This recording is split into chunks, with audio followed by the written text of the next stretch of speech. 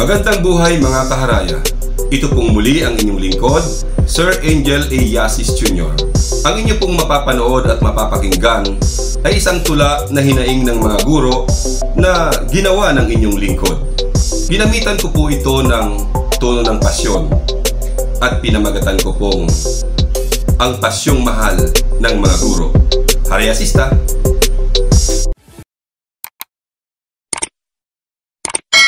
Subscribe now.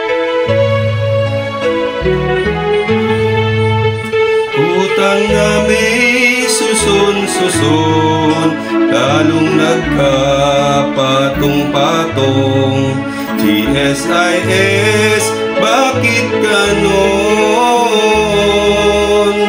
Kalbaryo ang inyong tulong Lalo kaming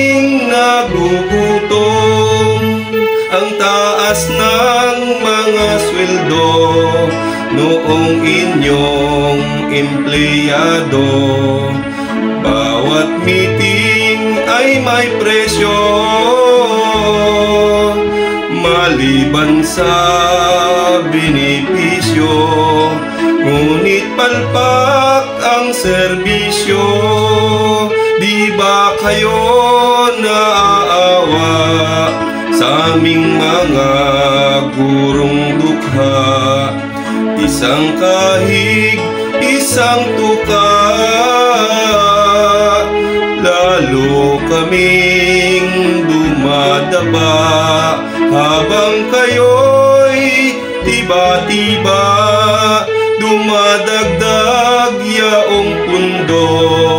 Sa dami ng inyong miyembro Utang doon, utang dito.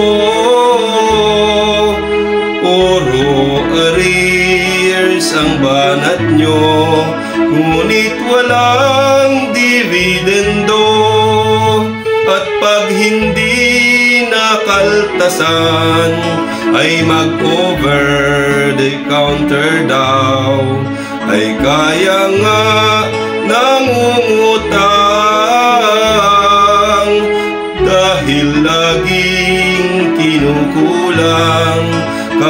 pa'y papasahihan Samantalang automatic Ang pagkaltas sa aming payslip.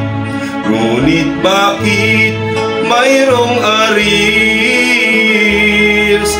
Ang may sala raw ay DepEd At di agad nagsusulit Mayroong gurong di nag-utang Ngunit biglang kinaltasan. At pag sila'y pinuntahan Ay sila pa ang matapang.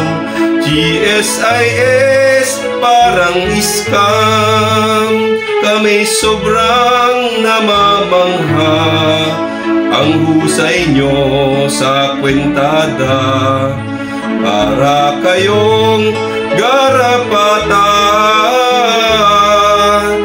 O di kaya ay vampira Tirik na ang aming mata. Nalilito na si Juan Kung sino ang susumbungan Gobyerno ba o tulisan? Baka naman may sabwatan Yaong mga tampalasan Kami hindi nambibintang. Naghihinala po lamang Dahil hindi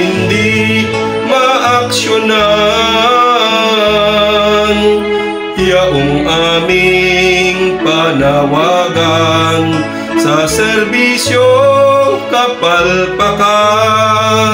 Kay rami nang nagreklamo Walang aksyon ang gobyerno. Parang mayroong sindikato. Ang biktima'y mga miyembro sa Klolo